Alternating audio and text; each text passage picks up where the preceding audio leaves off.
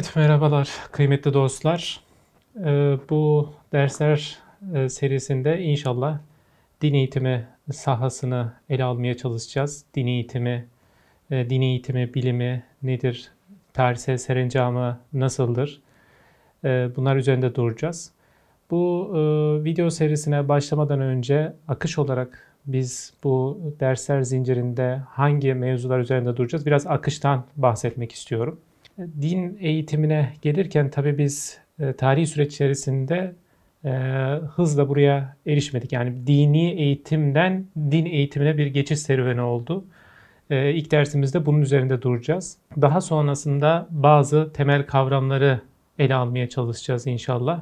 Müteakiben din eğitimi ilminin serencamı nasıl oldu? Türkiye'de e, Batı ile kıyasla geç kurulmasının sebepleri nelerdir gibi mevzuları ele alacağız. Müteakiben dördüncü başlığımızda din eğitiminin temelleri e, meselesine giriş yapacağız. Yani okulda niçin din eğitimi veriliyor hem dünyada hem Türkiye'de bu mevzu üzerinde bazı alt başlıkları değinerek ilerleyeceğiz. Ve en sonda ise dünyada din eğitim modelleri nasıl, e, bu modeller kaça ayrılıyor, Türkiye bu modeller içerisinde nereye giriyor? Ee, bunun üzerinde duracağız. Evet şimdi e, ilk başlığımızdan başlayacak olursak e, biz din eğitimine nasıl geldik? Yani dini eğitimden din eğitimine nasıl geldik?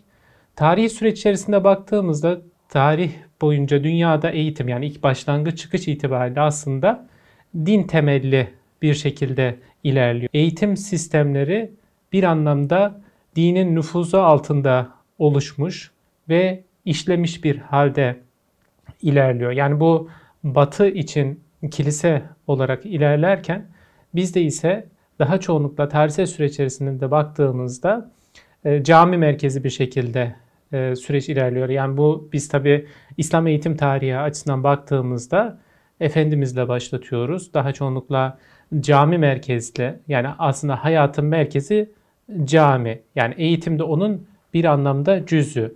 Yani eğitimi belirleyen ana dinamik unsur, temel yapı aslında din. Yani e, din ayrı bir cüz şeklinde değil, bir anlamda e, eğitimle din dediğimiz şey birbirinin mütemmim cüzü şeklinde ilerleyen bir yapı, bağımsız bir yapı şeklinde değil. Seküler mantıktan baktığımızda modern dönemde, şimdi az sonra ona inşallah gireceğiz. Tabii e, tarih boyunca dünyada eğitim din temeli dedik. Yani eğitim sistemleri dinin nüfusu altında ilerliyor. Bu tarihsel süreç arasından nasıl diye baktığımızda bu gelenek Batı içi e, konuşacak olursak Batı'da aydınlanma hareketine kadar bu şekilde ilerliyor. Bizde ise 19. asra kadar yani Tanzimata kadar bu şekilde sürüyor. Şimdi bizde az önce de ifade ettiğimiz gibi eğitim bir bütün olarak algılanıyor. Yani insana bakış da öyle, insanın eğitimi de bu şekilde. Ve eğitim sisteminin tümüne aslında tanzimata kadar İslam nüfus etmiş durumda. Yani dini, seküler şeklinde herhangi bir dini, la dini şeklinde herhangi bir ayrım yok. Mesela medrese açısından bakalım. Ee, işte dini ilimler, e, seküler ilimler şeklinde bir ayrımı görmüyoruz. Yani tefsir, hadis, fıkıh, kelam da var orada astronomi, matematik, felsefe de var. Yani günümüzde biliyorsunuz bunlar arasında bir dikotomik ilişki kuruluyor. Bu çok modern bir mantık ama gelenek açısından baktığımızda böyle bir şey en azından 19. asra kadar, Tanzimat'a kadar böyle bir şey görmüyoruz. Yani kavramsallaştırma açısından da bu şekilde böyle bir ayrım yok. Yani e, bu yürütülen e, camilerde yürütülen olsun, medreselerde yürütülen olsun bu faaliyetleri o dönem içerisinde ulemaya baktığımızda veya hatta eğitim üzerine e, eserler alanlara baktığımızda bu yapılan faaliyet din eğitimi veyahut da dini eğitim veyahut da terbiyetü diniye kavramlarıyla yürüttükleri din eğitimini faaliyetini nitelendirmiyorlardı. Zaten onlar e, kendi dininin dindarlıklarının bir gereği olarak görüyorlardı bu yaptıkları tüm eğitimle ilgili faaliyetleri. Yani buradan e, çıkarılacak sonuç şu, eğitim anlayış ve uygulamalarını burada dualist bir yaklaşımla değil, yani parçacı bir yaklaşımla değil, tevhidi bir yaklaşımı öngörüyorlardı. Az önce de ifade ettiğim gibi eğitimi, ilimleri e, dini ve gayri dini şeklinde ayırmadan bütüncül bir şekilde tevhidi bir anlayışla ne yapılıyordu? Ele alınmaya çalışılıyordu. Tabi genel eğitim içinde biz şu anda bir alt birim olarak din eğitimini konuşuyoruz. Tanzimata kadar böyle bir şey yoktu. Bütününe hakim demiştik. Ne zaman başladı bu süreç? Tabi tarihsel e, sürece baktığımızda bunun hepsinden bahsetmemiz saatleri alır. Yani İslam eğitim tarihi literatürü zaten bunun üzerinde duruyor. Osmanlı için bakacak olursak yani bizim de biliyorsunuz e, modernleşme tecrübemiz, eğitimde modernleşme tecrübemiz e, tanzimatla başlıyor. Yani Cumhuriyet'in ilk kurulduğu zaman değil, daha çoğunlukla tanzimat. Tanzimatta ne oluyor? Bir modernleşme tecrübesi başlıyor. Tabi o döneme kadar daha çok cami e, merkezli ve e, büyük oranda medreselerin hakim olduğu coğrafyanı ne yapılıyor? Modern mektepler kurulmaya başladı. Tabi modern mektepler işte rüştiyeler olsun, idadiler olsun, e, ondan sonra daha yüksek öğretim kurumları olsun. Bunlar modern mantıkla medresenin karşısında yer almaya başlıyor.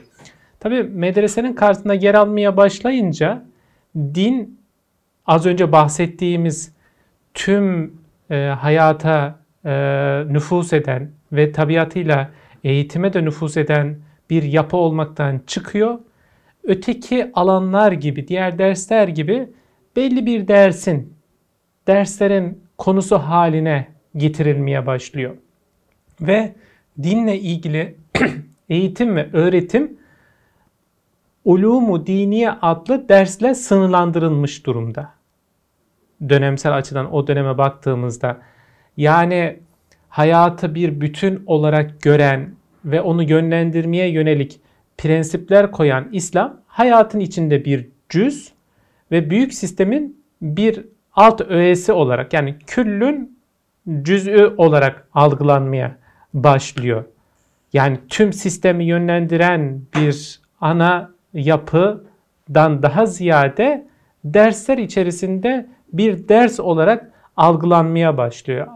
Yani ne demek istiyoruz burada? Aslında genel eğitimi modernleşme tecrübesinin içerisinde bir seküler çerçeveye oturtma çabasından bahsediyoruz. Ve neticesinde az önce ne demiştik? Dini eğitimden bahsetmiştik. Yani eğitimin tümüne hakim olan dinden bahsetmiştik ve Tanzimat'la birlikte aslında din eğitiminden bahsetmeye başlayacağız ve din eğitimi kavramından bahsetmeye başlıyoruz temelde modern mantıkla baktığımızda. Ve din eğitimi kavramı aslında bizim İslami geleneğin değil de daha çoğunlukla modernitenin dolayısıyla sekülerleşmenin bir tezahürü olarak görmemiz mümkün. Şimdi bu ilk başlıkta neler üzerinde durduk? Dini eğitimden din eğitimine geçiş serüveni üzerinde durduk. Bazı temel kavramlar üzerinde duralım. Yani dini eğitimi sahasını tanıyabilmek için, dini eğitimi, bilimi, ilmi sahasını e, kavrayabilmek için neden derseniz e, malumunuz biz kavramlarla düşünüyoruz. Yani kavramlar zihnimizde berrak ve net olmazsa e, yaptığımız düşünme ameliyesi de çok sağlıklı olmayacak. Tabi burada temel kavramların hepsini bu kısa sürede ele almamız çok mümkün değil. O yüzden biz e, bu dersimizde bazı temel kavramlar derken üç temel kavram üzerinde duracağız. Yani üç kritik kavram üzerinde duracağız din eğitimi ilmini anlayabilmemiz adına.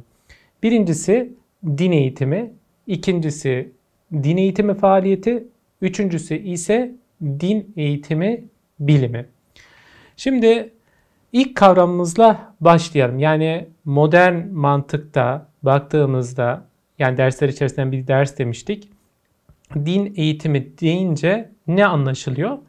Şimdi literatürde çok fazla tanım var tabi. Ama umumun daha çoğunlukla literatürün ortak bir tanım olarak gördüğü, en azından efradını cami, ayarını mani bir şekilde ifade edecek olursak, e, din eğitimi genel olarak bireyde kendi yaşantısı yoluyla dinle ilgili davranış değişikliği meydana getirme süreci diyoruz. Burada aslında eğitim tanımına da girmek gerekiyor, insan tanımına da girmek gerekiyor. Çerçeveyi çok geniş tutmamak adına biz burada bunun üzerinde duruyoruz. Eğitim dediğimiz şey aslında öğrenmeyle ilişkili bir şey. Öğrenmek kimin üzerinde gerçekleşiyor? Talebe yani talebenin bizatihi bil fiil sürece dahil olmasıyla gerçekleşen bir şey. Örneğin benim bu videoda din eğitimi üzerinde bir anlatım yapmam doğrudan sizde kalıcı izli bir öğrenme gerçekleşeceği anlamına gelmiyor. Sizin de bir fiil bir şekilde aktif olmanız, e, belki bu örneğin videonun daha interaktif olması, işte sizin sorularınız, ondan sonra benim bu sorulara cevabım, sizin fikirlerinizi beyan etmeniz daha kalıcı öğrenmeler oluşturuyor. O yüzden birey de kendi yaşantısı yoluyla tanımı çok kritik din eğitiminde. Kendi yaşantısı yoluyla ne oluyor? Dinle ilgili davranış değişiklikleri meydana geliyor. Yani biz getirme sürecinden bahsetmiştik ya davranış dinle ilgili davranış. Bu davranış değişikliği hangi boyutlarda olabilir? Bilişsel boyutta olabilir, duyusal boyutta olabilir, devinişsel boyutta olabilir. Bilişsel boyutta dediğimiz daha böyle teorik e, işte namazın e, şartlarını söyler. Bu bilişsel boyutta bir e, davranış değişikliğidir. Bu duyusal da olabilir. Namaza yönelik farkındalık ne yapar? Sağlar. Veyahut da farkındalık kazanır.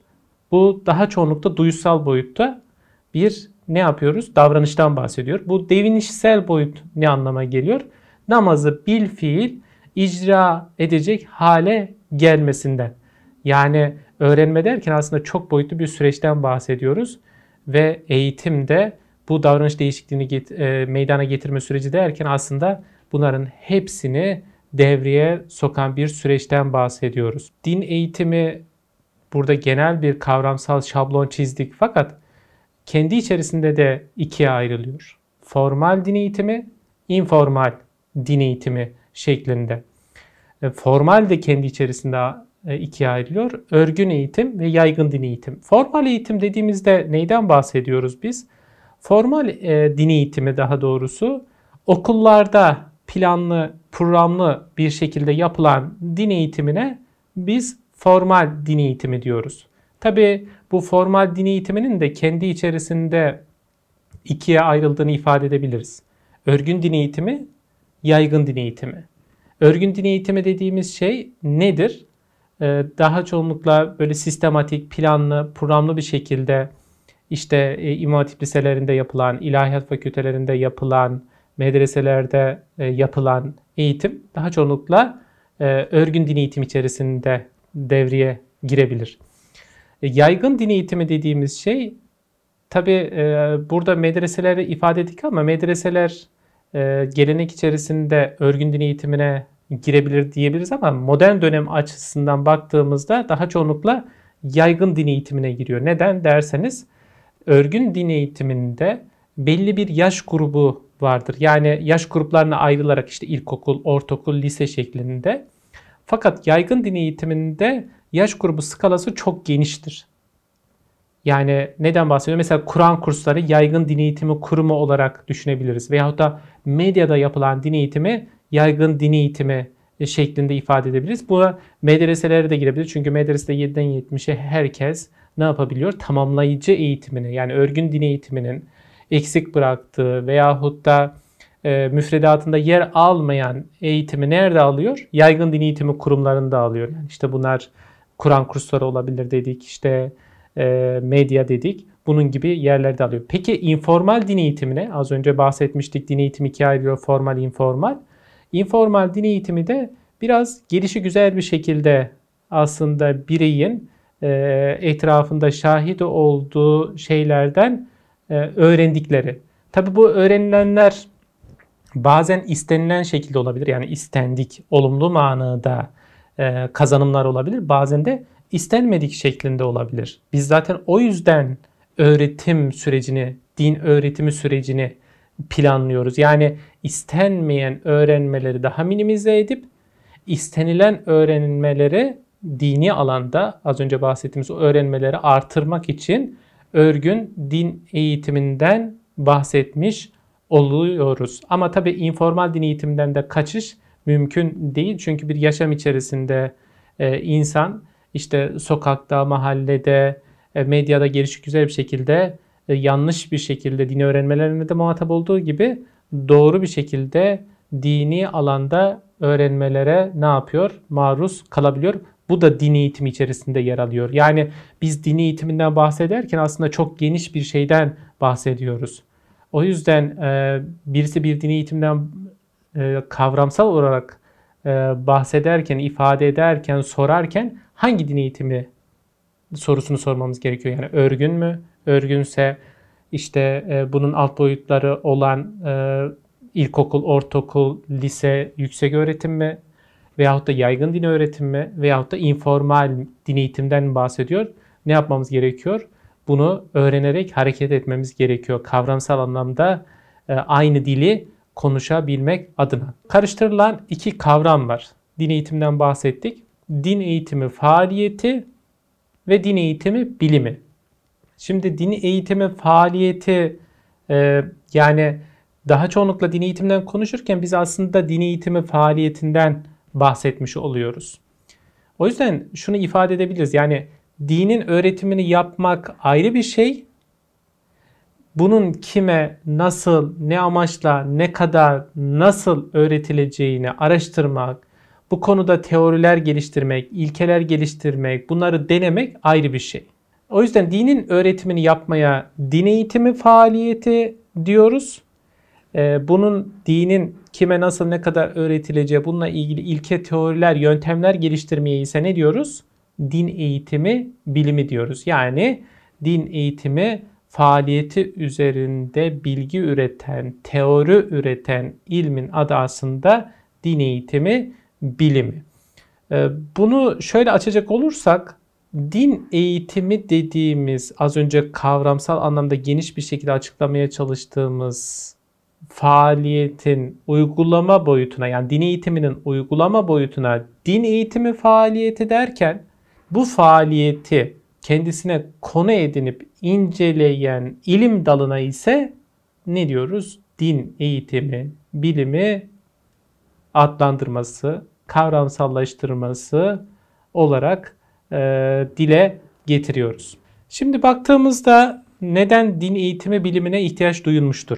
Birincisi din eğitimi biliminin ihtiyaç duyulmasının arka planındaki ilk gerekçe din eğitimi gerçekliğini anlama. Yani din eğitimi dediğimiz hadise az önce din eğitimi faaliyetinden bahsetmiştik. Nasıl oluyor? Bu işte okul öncesi kurumlarda nasıl oluyor? İlkokullarda nasıl yürütülüyor? Orta öğretimde nasıl oluyor? Yüksek öğretimde nasıl oluyor? Bireyin zihin dünyasında, öğrenme yolculuğunda o serüveninde nasıl oluyor? Önce bu gerçekliği anlama. Daha sonrasında bu gerçekliği anladıktan sonra bunu deneyip bununla ilgili tabi teoriler, ilkeler geliştiriliyor. İşte yaşlara göre e, din eğitim faaliyeti nasıl yapılacağına dair ilkeler ve teoriler geliştiriliyor, yöntemler geliştiriliyor. Bunları denetleyip yönetme, uygulama e, faaliyetini ne gerçekleşiyor? Din eğitimi ilmi gerçekleştiriyor. Neden bunu yapıyor? Din eğitimi faaliyetini daha nitelikli, daha verimli bir şekilde gerçekleştirebilme adına. Çünkü hem talebede hem muallimde hem öğretmen öğrenci yani ne yapıyor aslında maddi manevi bir zaman ayırıyor. Ne adına halisane bir şekilde kendi dinini öğrenmeye çalışıyor veyahut da e, din kültürü bağlamında konuşacak olursak az sonra daha detaylandıracağız. Farklı dinleri anlama, farklı işte manevi arayışları anlamlandırma adına ne yapıyor? Aslında bir vakit ayırıyor.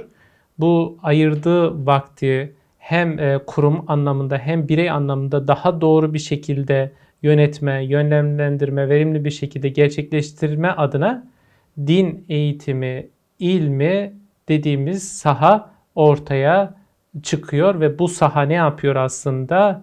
Bu sürecin e, verimli bir şekilde geçmesi adına ne yapıyor? Bilgi üretiyor. Uygulama boyutunda bir takım ne yapıyor? Modeller, yaklaşımlar ortaya koymaya çalışıyor. Din eğitimi ilme mesela hangi sorulara cevap arıyor? Biraz bunlara başlıklar halinde bakacak olursak işte mesela din eğitim faaliyeti nedir? Yaptığı işin teorisini ortaya koymaya çalışıyor. Din eğitim faaliyeti sürecinde neler ceryan ediyor? Yani süreci etkileyen faktörler neler? Süreci engelleyen mesela sorunlar varsa bunlar neler? Bunları ortaya koymaya çalışıyor. Hangi faktörlerin etkisi altında gerçekleşiyor?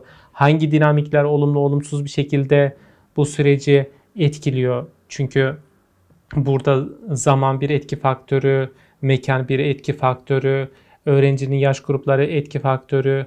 Yani birçok değişkeni ne yapmak gerekiyor? Formatlayıp e, sahada yani din eğitim faaliyetini doğru bir şekilde gerçekleştirmek gerekiyor. Tabi bunları neye göre yapmak gerekiyor? Genel geçerli olan kanunlara göre yapmak gerekiyor. Genel geçerli uygun hangi kanunlara tabidir? Bununla ilgili teoriler ortaya koymaya çalışıyor. Din eğitimi faaliyeti dediğimiz sahanın, olgunun sorunları nelerdir? Bunların üzerinde durmak. Yani olanı önce olduğu gibi betimliyor. Din eğitim faaliyetinin gerçekleştiği kurumlarda olan olduğu gibi betimliyor, ortaya koyuyor. Ve olması gerekene yönelik ne yapıyor?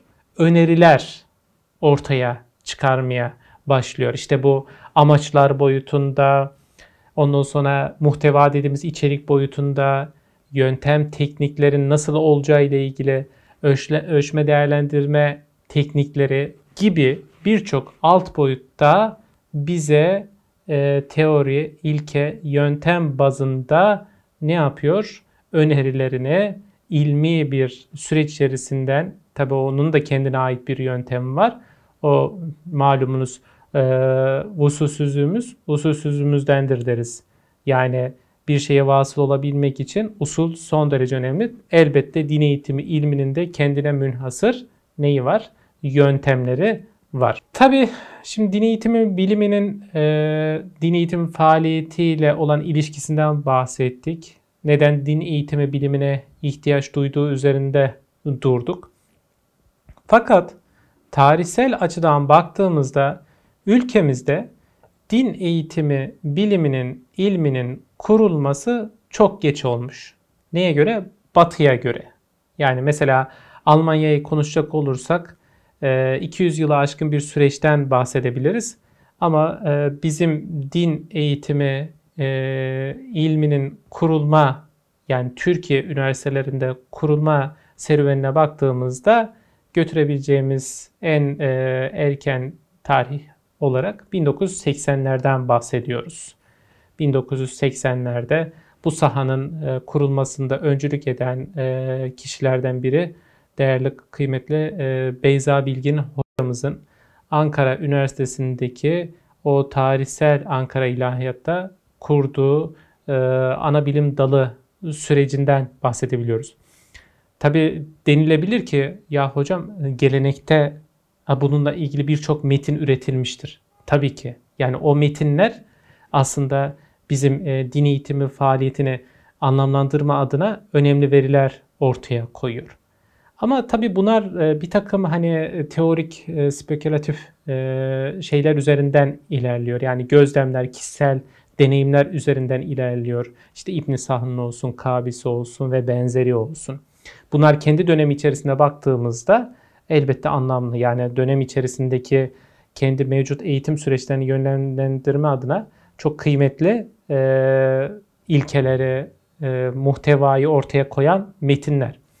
Ama bizim e, modern ilimler mantığı açısından baktığımızda yani sahadan gidip araştırmalar yapıp bunların üzerine bilgiyi inşa etme ve bunu belli bir sistematik daire içerisinde yani belli bir yöntem içerisinde yapma faaliyeti e, Türkiye'de din eğitim bilimi açısından 1980'lere e, de başlayan bir e, saha olarak dile getirebiliriz. Neden gecikiyor? Bu gecikmenin de arka planda çok sayıda sebepten bahsetmemiz mümkün. Birincisi e, Cumhuriyet döneminin özellikle tek parti yönetiminin din eğitimi uygulamalarına ilişkin olumsuz tutumu. Ne demek bu? E, malumunuz e, Cumhuriyet kurulduğunda işte Tevhidi Tedrisat Kanunu ortaya çıkıyor. Tevhidi Tedrisat Kanunu aslında din eğitimi faaliyetini yasaklayan bir kanun değil. Az sonra e, din öğretiminin e, temellerinden bahsederken hukuki temelden bahsedeceğiz. Yani tevhidi tedrisat aslında e, bizim işte ilkokullarda yapılan din derslerinin dolaylı garantörü İmam Hatip Liseleri ve İlahiyat Fakültelerinde doğrudan aslında yasal dayanağı. Fakat e, Cumhuriyet tecrübesinde tek parti yönetimi e, ne yapıyor? Kademe, kademe, kademe, kademe din derslerini ilk, orta e, ve yüksek öğretim kurumlarından kaldırıyor. Hatta e, 1938-39 ile 1948-49'a kadar herhangi bir kurumda, eğitim kurumunda ne yapılıyor?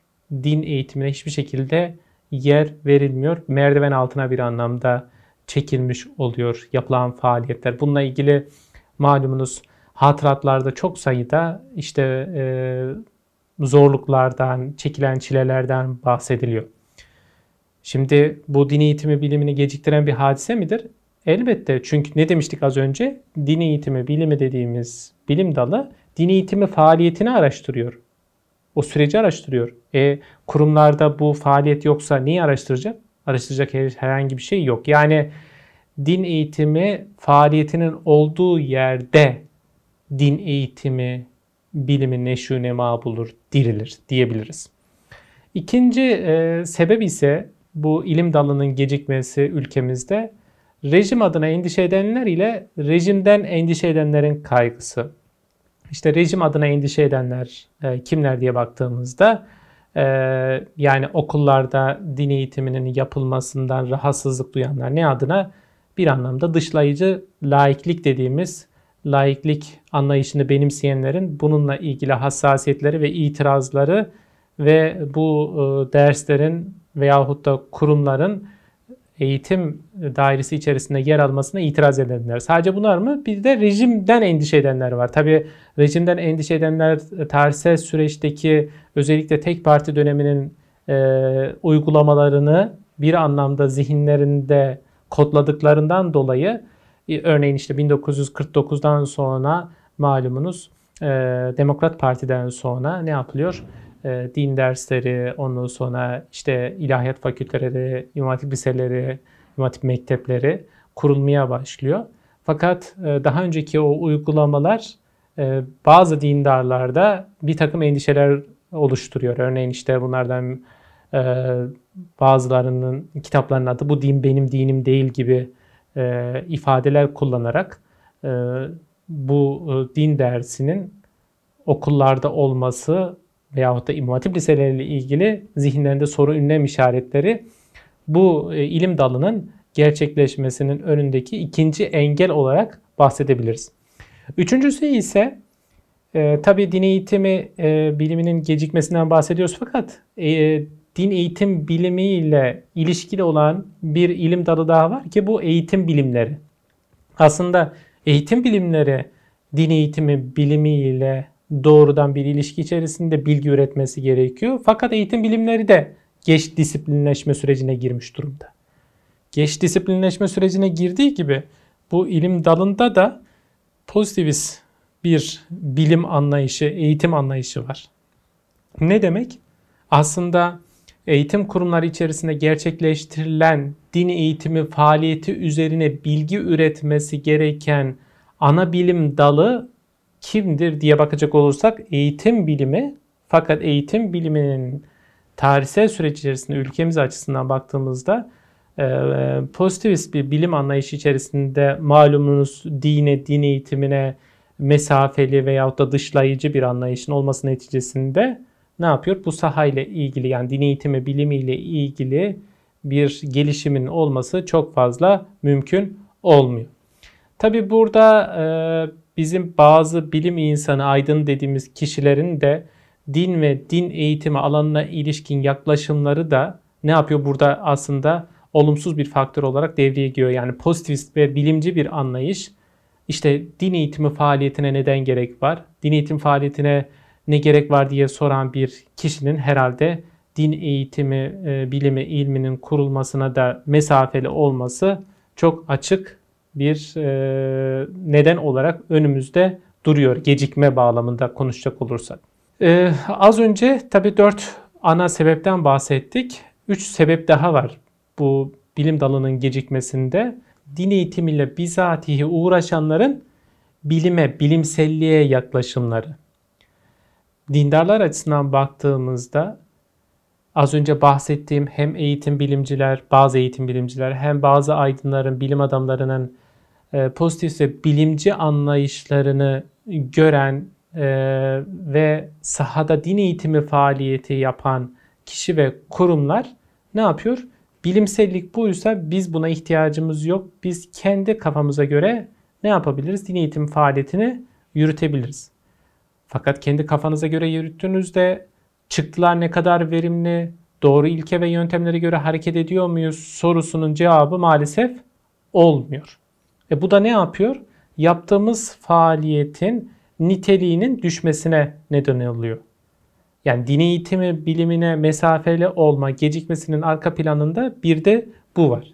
Tabi burada e, bu e, bahsettiğimiz din eğitimiyle uğraşan bazı kimselerin gelenek anlayışlarından da kaynaklanan bir e, problem var. Yani geleneğe körü körüne yaklaşımları aslında neyi etkiliyor? Din eğitimi biliminin kurulmasını da etkiliyor. Halbuki gelenek e, kelimesine kavramına baktığımızda gelen ekten bahsediyoruz. Geleneği bir mumya gibi alıp işte e, 10. yüzyılda inşa edilmiş, ortaya konmuş bir bilgiyi bir mumya halinde buraya aktarmak değil. Gelen ek yapabilmek yani ona ekleye ekleye birikik bir şekilde ilerleyen bir süreçten bahsediyoruz. Günümüzün şartlarına göre, günümüzün çocuk anlayışına göre, günümüzün ilim anlayışına göre, geliştirilen teori ve yaklaşımlara göre e, ne yapılması gerekiyor? İnşa edilmesi gerekiyor ve bu da din eğitim biliminin gecikmesini engelliyor. Tabii e, şu da geç kurulmasını etkileyen bir faktör olmuş durumda. Yani din eğitiminin hayatın gerçekliğinden ne yapan doğan bir ihtiyaç oldu ve bu ihtiyacın bilimsel bir bilgiyle giderilmesi ne az ihtiyaç duyulması veyahut da böyle bir ihtiyacın geç fark edilmesi din eğitimi biliminin de kurulmasının gecikmesine sebep oluyor. Yani burada bununla bağlantılı e, bir başka sebepten, faktörden bahsedecek olursak din eğitimi uzun süre pratik boyutuyla görülmeye çalışılmış. Fakat bilimsel teorik boyutu gözden kaçırılmış durumda. Yani e, dini bilen herkes öğretebilir mantığı hakim. Fakat öyle değil. Bunun az önce de bir e, bizim gelenekteki güzel bir ilke işaret eden bir şeyden, bir ifadeden bahsetmiştim. Vusulsüzlüğümüz usulsüzlüğümüzdendir.